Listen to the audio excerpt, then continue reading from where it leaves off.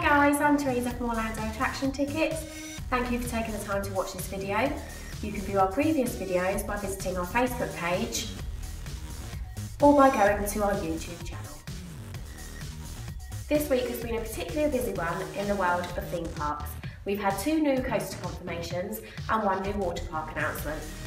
We'll start with Wednesday when SeaWorld Orlando announced they were building a new hyper roller coaster called Mako, due to open in 2016.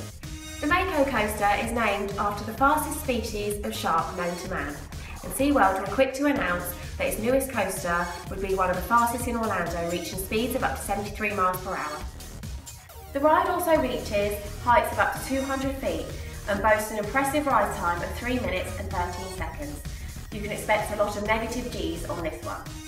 Next up is SeaWorld's sister park, Busch Gardens. On Thursday, they too announced they'll be opening a new coaster, set to debut as well in 2016. Cobra's Curse is a family spinning coaster and will reach speeds in excess of 40 miles per hour.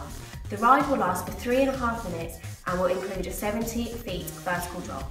Busch Gardens have confirmed that the spinning aspect of the ride will be controlled somewhat by the riders.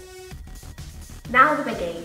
If two coasters wasn't enough, Universal have flexed their considerable muscle and announced that they've already started building a brand new water park called Volcano Bay. Set to open in 2017, Volcano Bay will be themed as a tropical island paradise with a huge volcano centrepiece. It will be located behind Universal's Cabana Bay Hotel and we can expect innovations and thrills from the team that brought us the Wizarding World of Harry Potter. You can read more about these announcements by visiting our blog. So there you have it, a week full of amazing and awesome announcements. So I'll see you again next time. Bye!